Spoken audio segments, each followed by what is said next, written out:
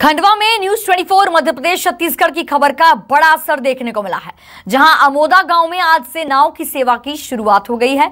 दरअसल न्यूज़ 24 मध्य प्रदेश छत्तीसगढ़ ने इंदिरा सागर के बैक वाटर के पानी के बीच बैलगाड़ी में जान जोखिम में डालकर स्कूल जाने की खबर प्रमुखता से दिखाई थी जिसके बाद प्रशासन हरकत में आया और बच्चों के साथ साथ ग्रामीणों के लिए नाव सेवा की शुरुआत की।